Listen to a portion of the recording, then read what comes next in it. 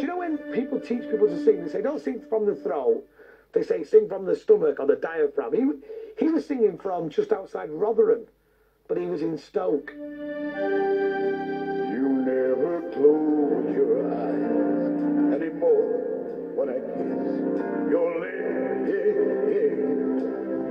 your lips. Although he sounded in some discomfort, Paul's pain delivery was in fact the result of trying to override technical problems in the studio. Those grimaces sometimes of passion were really like, oh, I'll kill somebody when this song's over. I'll kill you. Do you know what, you know what I'm saying? But you can't ever be trooper. One continues. Baby, I know you love You can tell he's old school club singer. It doesn't necessarily matter what note you're on, just belt it out.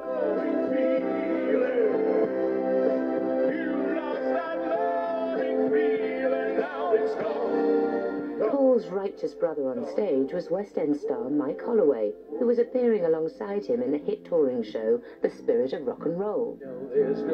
On tour, it became successful. Then the opportunity came to do it on telly. Obviously, me and Paul Shane is an odd combination. Um, but what they didn't know was that Paul and I became really good buds. So the combination of the two was really quite electric, naturalistically on stage.